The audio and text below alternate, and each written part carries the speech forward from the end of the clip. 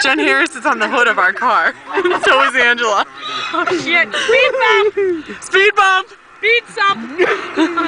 Angela, please stay on the car.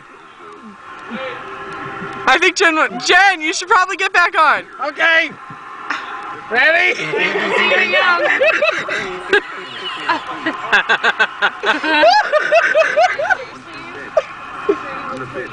It's Lucas, probably. Whatever. We'll be okay. I'll get it cleared by Lucas even if I do get fined or anything. I have. We'll just we'll just have them get in the car like not once like I'm gonna ride through the grass. You guys, once we get on campus, actually get in the car. No, don't. Brian.